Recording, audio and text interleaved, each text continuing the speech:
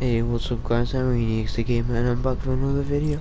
Today guys I'm gonna show you the new Brite Bomber but this time it's the Brite Gunner the male version. It looks pretty cool with a new backpack. As you know there's that backpack that people thought you have to get three levels in a game but since people are wrong it's now on the Brite Gunner and it's pretty cool. It looks pretty fresh I would actually buy it but I don't have enough V-Bucks. Maybe when I save up I'll get it. It's pretty good.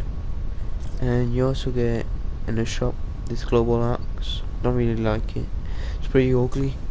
And yeah. Also in the shop there's other items like the old electro shuffle, dab, icebreaker, prismatic, absolute zero. Oh yeah, there's battle pass tiers, everyone get it need to get to battle pass tier 100 and then get ready for season 4 and yeah guys this is it.